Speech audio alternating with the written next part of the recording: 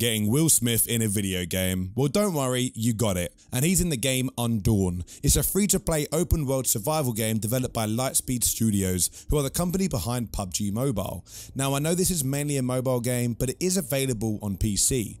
However, it has piqued my interest, and I'm not even a mobile gamer. Now, before we get into the real deal when we talk about Will Smith being in a video game, let's talk about the game itself so you can familiarize yourself with what exactly is going on and where we're going to see Will Smith. The world has been ravaged by a zombie apocalypse, and other people are challenged for survival, fighting over resources whilst constructing shelters to then fend off hordes of relentless zombies, but also other players. The game has a ton of weapons, but also the ability to utilize vehicles to traverse the very unforgiving landscape. There's a dynamic crafting system in place that will allow you to customize and create your own gear, which will then give you an edge in the battle for survival. But now you, know the story, let's get into why you're here. Will Smith is finally jumping into the gaming sphere and will be a playable character in Undawn.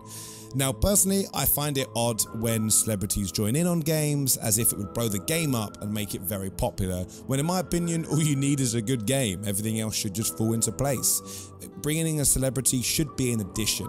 So looking at this, whilst the game looks good, I'm very interested into why they picked Will Smith. Don't get me wrong, I'm a fan of him, and I say this, so just in case he's watching this, he doesn't turn around and slap me.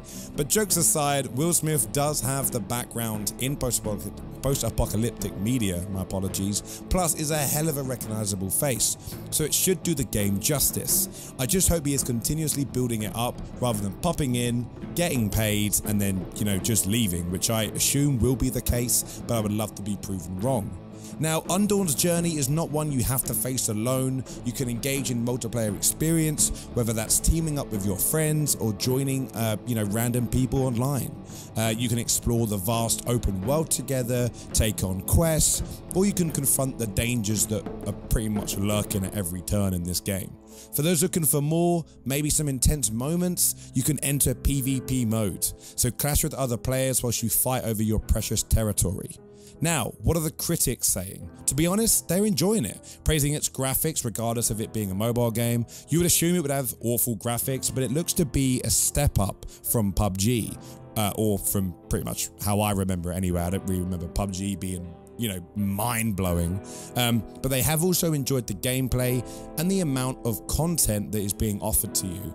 To back this up, since the release on April the 6th earlier this year, Undawn has actually been downloaded over 100 million times, which I guess is a testament to its popularity and appeal. Bear in mind, the game is still in beta, so you have to apply for the closed beta, but 100 million people playing the game is very good, and I don't want to talk down on it. I will just say it is mobile gaming, and we all know how popular mobile gaming is.